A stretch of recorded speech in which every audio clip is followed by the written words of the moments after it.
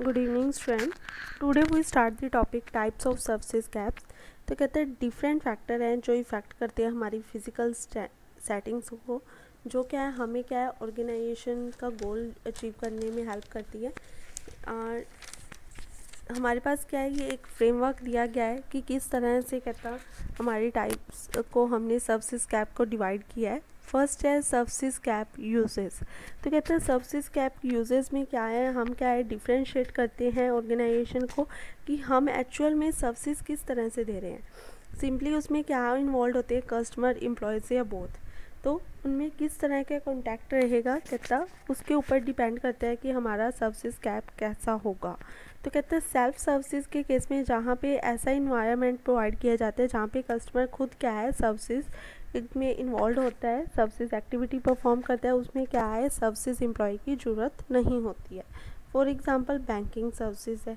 ATM card आप access कर रहे हो, ठीक है? सेकंड है इंटरपर्सनल सर्विसेज़ जहाँ पे बहुत कहता, हमारे पास क्या है कस्टमर और एम्प्लॉय दोनों में इंट्रैक्शन होती है, दोनों का प्रेजेंट होना ज़रूरी होता है, ठीक है? लाइक इन केस ऑफ़ आप बैंक गए हो होटल गए हो एजुकेशन इंस्टीट्यूट गए हो, जहाँ पे कहता, जो कस्टमर है और एम्प्लॉय दोनों में इंट्रैक्शन होगी, ठीक है? सेकंड है, हमारे पास रिमोट सर्विसेज़ रिमोट सर्विसेज़ क्या है, जहाँ पे जो क्या है कस्टमर का रोल क्या है, नहीं होता वो कोई भी रोल प्ले नहीं करता, उसकी रिक्वायरमेंट नहीं होती है। कस्टमर का अवेलेबल नहीं, होना ज़रूरी नहीं होता।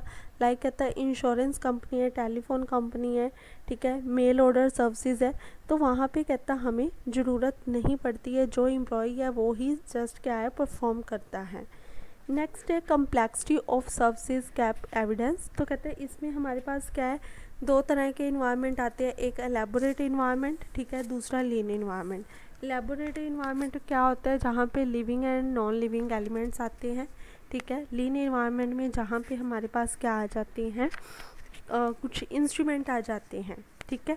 तो कहता हमारे पास क्या है सर्विसेज़ कैप को दो बेसिस पे डिवाइड किया गया है बेस्ड ऑन कम्प्लेक्सिटी कहता समटाइम कहता, जो हमारा इन्वायरमेंट है, काफ़ी ज़्यादा कम्प्लेक्स होता है समटाइम कहता बहुत ही सिंपल होता है।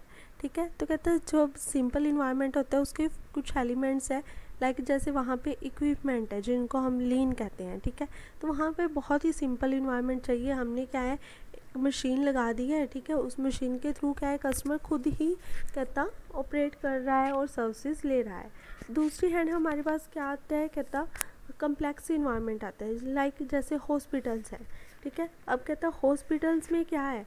हमें क्या है प्रॉपर हमारे रूम्स होने चाहिए डिपार्टमेंट्स होने चाहिए employees doctor each and every thing क्या है प्रॉपर प्लेस पे होनी चाहिए। तो वहाँ का इन्वायरमेंट क्या है, हमारे लिए कम्प्लेक्स इन्वायरमेंट है। हमें क्या है प्रॉपरली हर एक चीज़ को मैनेज करना होता है।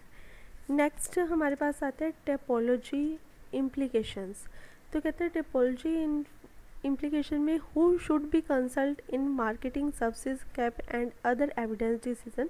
तो कहता फर्म लोकेट करती है इट सेल्फ की सेल्फ सर्विस सेल होगा।